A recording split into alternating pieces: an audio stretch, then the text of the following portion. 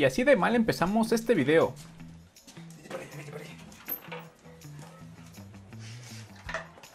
Estaba a punto de tapar la pintura. Le iba a dar un golpe con el pie y mi pie se metió a la cubeta con pintura. Y se me cayó toda.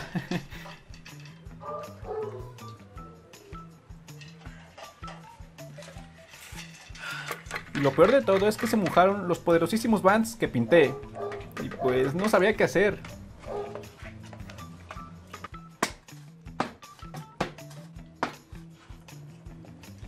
Pero ni modo, los gajes del oficio. ¿Qué tal, my friends? Mi nombre es David y bienvenido al nuevísimo video del canal. Para esta semana es un video que tenía muchísimas ganas de hacer, ya que tenía rato que no usaba este material, y por un rato unos 7 años. Como es un tutorial básico, aprenderás lo principal y más importante que necesitas para dominar este material. Estos consejos también sirven si pintas con acrílico. Lo principal que necesitas es dónde pintar. Esto si está preparado con una imprimación. Si no sabes qué es esto, te dejo en la descripción un link para que vayas y le eches un ojo.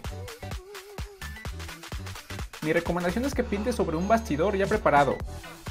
Hay de diferentes, y lo ideal es que visites una tienda de arte y veas cuál se adapta mejor, ya que hay diferentes marcas y tamaños, y pues varía mucho la calidad.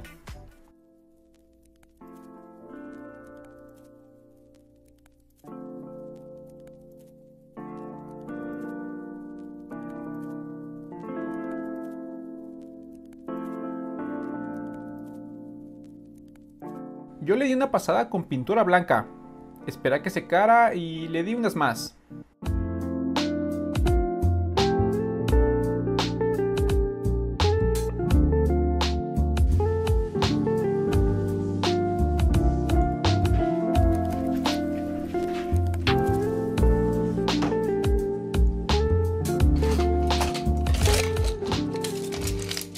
Pinceles, muy importante. No es necesario que te compres la caja de 50 pinceles que cuesta carísima. Nah, nada de eso. Mi recomendación es que compres un paquete de pinceles variados y veas cuál te funciona mejor. Ojo, pero baratos, ya que vas a ir iniciando. Con esto irás experimentando ya que no hay una forma o un pincel específico que sea el adecuado. Todo dependerá de la técnica y el tipo de pintura que realizarás. ¿Y cómo pintarás? ¿Con la imaginación? Claro que no. El material principal. Para empezar, te recomiendo comprar óleos baratos, ya que es importante probar este material y ver si te gusta y te funciona. En experiencia no es mucha diferencia los elaborados en México que marcas como Winsor Newton, que es marca inglesa me parece, y dicen que es la mejor. Necesitarás un trapo y agua para limpiar tus pinceles. Otra cosa importante es una superficie de mezcla. Yo te recomiendo un pedazo de vidrio y coloca por debajo una hoja gris o blanca para que puedas ver el color. Solventes. Mmm, muchos artistas lo recomiendan, muchos no y pues hay diferentes. Que en realidad para principiantes no son necesarias, así que no los usaremos.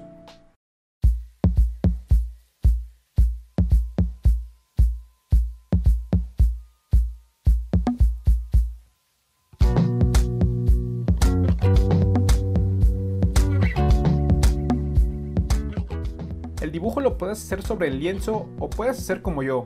Primero realizarlo en papel y después transferirlo con la técnica de grafito. Ya te lo dejo a tu lección.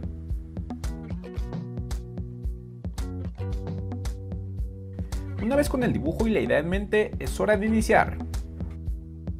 Con cualquier pintura que compres, te verás obligado a mezclar colores para obtener el indicado. Estaré pintando a Scorpion, ya que se viene la nueva película de Mortal Kombat, y dije, sí o sí, lo tendré que sacar para este video. Parecerán tubos muy pequeños, pero créeme que con una cantidad pequeña cubre un gran pedazo. Como iniciaré pintando la cara, ocuparé estos tonos, ya que me serán de gran ayuda para obtener el tono piel. Siempre viendo tu referencia y mezclando el color al mismo tiempo. Ahora sí, es hora de iniciar.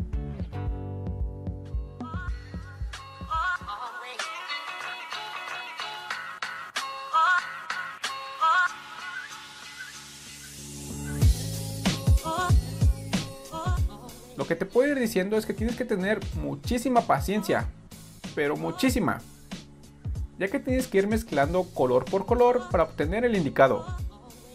Tan solo en el rostro me tomó alrededor de 40 minutos en acabarlo, nomás imagínate. Así como en los colores y en la pintura, es importantísimo que siempre lo hagas del color más claro al más oscuro.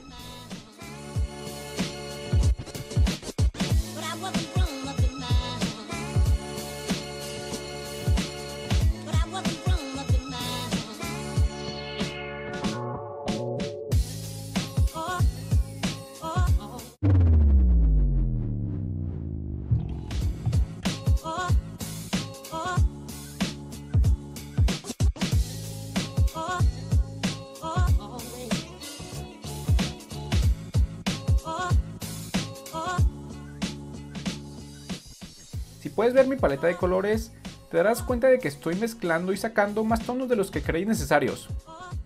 Fue entretenido pero un poco frustrante. ¿Frustrante? los pequeños detalles y un punto que no sé si considere bueno o malo es que por el tipo de aceites que tiene la pintura, tarda bastante en secar. Yo me fui a dormir y dejé mi paleta al aire por más de 10 horas y no se había secado. Es aquí donde entran los solventes, pero ya hablaremos de esto en el siguiente video.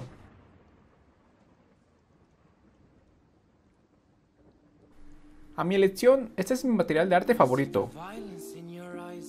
Antes eran mis colores Prismacolor, pero con el óleo puedes obtener cualquier color y los acabados son excelentes. Te recomiendo 100% que los pruebes si estás trabajando con colores o acuarelas verás un gran cambio. En este punto de la ropa ya estaba desesperado por terminar, ya que como tengo un trabajo de lunes a viernes, pues necesito sacar el video el fin de semana sí o sí. Entonces lo que ocurrió es que empecé a hacer pura porquería. Literal, a poner tonos que no venían al caso con la referencia. Y hacer los detalles rápido y está muy mal eso.